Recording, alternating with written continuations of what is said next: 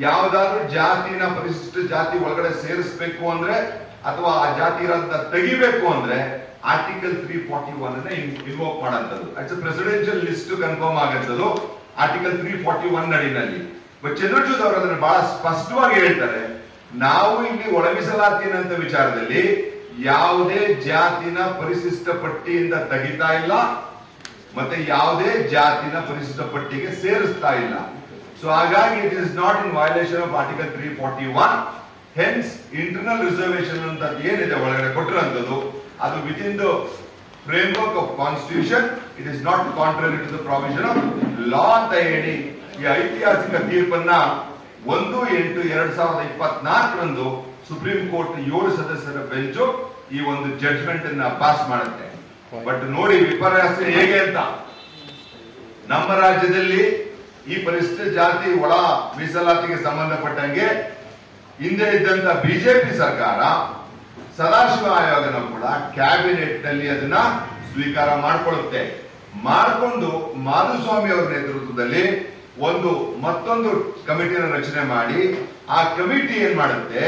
ಪರಿಶಿಷ್ಟ ಜಾತಿ ಪಂಗಡದ ಏನು ರಿಸರ್ವೇಶನ್ ಪಾಲಿಸಿ ಇದೆ, ಅದನ್ನ ಜಾಸ್ತಿ ಮಾಡುತ್ತೆ. ಪರಿಸ್ಥಿತಿಗಿದ್ದಂತ ಹದಿನೈದನ್ನ ಹದಿನೇಳಕ್ಕೆ ಮಾಡುತ್ತೆ ಪಂಗಡಕ್ಕಿದ್ದಂತ ಮೂರನ್ನ ಏಳಕ್ಕೆ ಮಾಡಿ, ಎರಡು ಸೇರಿ ಇಪ್ಪತ್ನಾಲ್ಕು ಪರ್ಸೆಂಟ್ ರಿಸರ್ವೇಶನ್ ಕೊಡಬೇಕು ಅನ್ನೋದನ್ನ ಮಾಧುಸ್ವಾಮಿ ಅವರ ವರದಿ ಮೇಲೆ ಬೊಮ್ಮಾಯಿ ಸರ್ಕಾರ, ಬಿಜೆಪಿ ಸರ್ಕಾರ ಅದನ್ನ ಅಂಗೀಕಾರ ಮಾಡಿಕೊಂಡು ಅದನ್ನು ಕೂಡ ಕೇಂದ್ರಕ್ಕೆ ಶಿಫಾರಸ್ ಮಾಡುತ್ತೆ. ಕಾಂಗ್ರೆಸ್ ಸರ್ಕಾರ ಈ ಅಧಿಕಾರಕ್ಕೆ ಬರೋಕ್ಕಿಂತ ಮೊದಲೇನೆ ಅವರ ಪ್ರಣಾಳಿಕೆಯಲ್ಲಿ ಬಹಳ ಸ್ಪಷ್ಟವಾಗಿ ಹೇಳಿದರೆ ನಾವು ಅಧಿಕಾರಕ್ಕೆ ಬಂದ್ರೆ ಒಳ ಮೀಸಲಾತಿನ ಜಾರಿ ಮಾಡ್ತೀವಿ ಅಂತ. ಜೊತೆಗೆ ಅವರ ಕ್ಯಾಬಿನೆಟ್ ನಲ್ಲೂ ಕೂಡ, ಅಧಿಕಾರಕ್ಕೆ ಬಂದ ನಂತರನೂ ಕೂಡ ಕ್ಯಾಬಿನೆಟ್ನಲ್ಲಿ ಅದನ್ನ ಸ್ವೀಕಾರ ಮಾಡಿಕೊಂಡು ಯಾವ್ದಾರ ಸದಾಶಿವನ ಆಯೋಗನ ಯಥಾವತ್ತಾಗಿ ಸ್ವೀಕಾರ ಮಾಡಿಕೊಂಡು ಅದನ್ನು ಕೂಡ ಅವರು ಸೆಂಟರ್ಗೆ ಶಿಫಾರಸು ಮಾಡಿದ್ದಾರೆ. ಇಲ್ಲಿ ತಮ್ಗೆಲ್ಲ ಗೊತ್ತಿರೋ ಹಾಗೆ ಯಾವುದೇ judgment of the honourable high court ಆಗ್ಬೋದು, ಅದು ಆನರಬಲ್ ಸುಪ್ರೀಂ ಕೋರ್ಟ್ ಆಗ್ಬೋದು, ಅದು ಕಾನೂನು. ಯಾವ ಜಡ್ಜ್ಮೆಂಟ್ ಬರುತ್ತೆ ಅದು ಕಾನೂನು.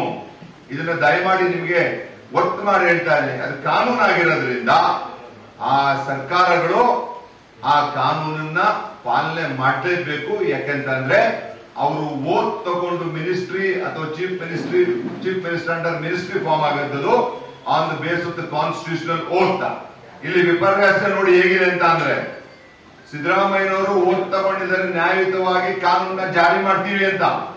ಸುಪ್ರೀಂ ಕೋರ್ಟ್ ಆದೇಶ ಕೊಟ್ಟಿದೆ ಒಂದು ಎಂಟು ಎರಡ್ ಸಾವಿರದ ಇಪ್ಪತ್ನಾಲ್ಕರಂದ.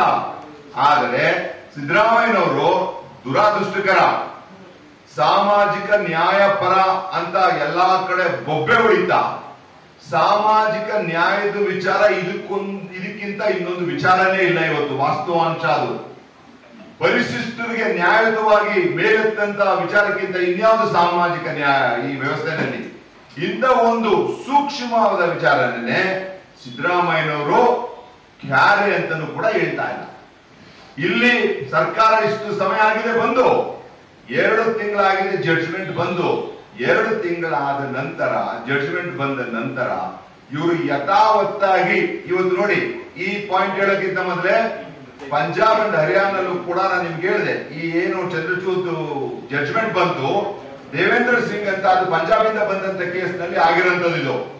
ನಿನ್ನೆ ನಿನ್ನೆ ಮೊದಲನೇ ಹರಿಯಾಣ ಬಿಜೆಪಿ ಕ್ಯಾಬಿನೆಟ್ನಲ್ಲಿ ಮೊದಲನೇ ಕ್ಯಾಬಿನೆಟ್ ಬಿಜೆಪಿ ಸರ್ಕಾರದ ಕ್ಯಾಬಿನೆಟ್ನಲ್ಲಿ ಫಸ್ಟ್ ಕ್ಯಾಬಿನೆಟ್ ನಲ್ಲೇ ಇಂಟರ್ನಲ್ ರಿಸರ್ವೇಶನ್ ಫಾರ್ ಶೆಡ್ಯೂಲ್ ಕ್ಯಾಸ್ಟ್ನ ಅಕ್ಸೆಪ್ಟ್ ಮಾಡ್ಕೊಂಡಿದ್ದಾರೆ.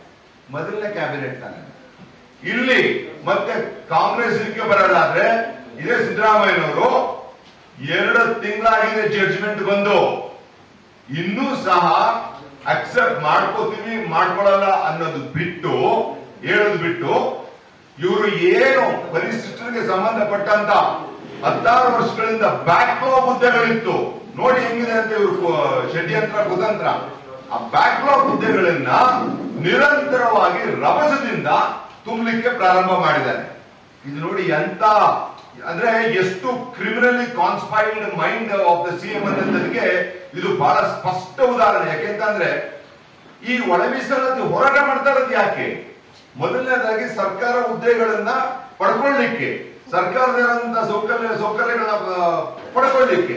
ಆದ್ರೆ ಆ ಸೌಕರ್ಯ ಪಡ್ಕೊಳ್ಳಂತ ಹಂಚಂತ ಪ್ರಕ್ರಿಯೆಗೆ ಪ್ರಯತ್ನ ಮಾಡೋದನ್ನ ಬಿಟ್ಟು ಇಲ್ಲಿ ಜಾರಿ ಮಾಡದೆ ಈ ಏನು ಬ್ಯಾಕ್ಲಾಗ್ ಹುದ್ದೆಗಳಿದೆ, ನಿರಂತರವಾಗಿ ತುಂಬುತ್ತಾ ಇದ್ದಾರೆ. ಇದರಲ್ಲೇ ಗೊತ್ತಾಗುತ್ತೆ, ಈ ಒಂದು ಪಾಯಿಂಟ್ನಲ್ಲಿ ಸಿದ್ದರಾಮಯ್ಯನವರು ಹಿಂದೂ ಇರಲಿಲ್ಲ, ಇವತ್ತೂ ಇಲ್ಲ. ಪರಿಶಿಷ್ಟರ ಪರವಾಗಿ ಅನ್ನಂಥದ್ದು. ಪರಿಶಿಷ್ಟ ಇನ್ ಜನರಲ್ ಪರವಾಗೇನೆ ಯಾಕೆ ಅಂತ ಅಂದ್ರೆ, ನೋಡಿ, ಸಾಮಾಜಿಕ ನ್ಯಾಯ ಅನ್ನಂತ ಏನು ವಾದ ಇದೆ. I am for the backward can I am for the ಐಂದ segment ಅನ್ನಂತವ್ರಿಗೆ ಇದಕ್ಕಿಂತ ಸಬ್ಜೆಕ್ಟ್ ಏನು? ಇದರಲ್ಲಿ ಸಿದ್ದರಾಮಯ್ಯನವರ ಅಂತ ಅವ್ರದ್ದು ಡ್ಯೂಯಲ್ ಕ್ಯಾರೆಕ್ಟರ್ ಅಂತ ಏನ್ ಹೇಳ್ತೀವಿ ಗೋಮುಖ ವ್ಯಾಘ್ರ ಅಂತ ಏನ್ ಹೇಳ್ತೀವಿ ಆ ಒಂದು ಪಿಕ್ಚರ್ ಬಹಳ ಸ್ಪಷ್ಟವಾಗಿ ಈ ಕೇಸ್ನಲ್ಲಿ ಎದ್ದು ಕಾಣುತ್ತೆ.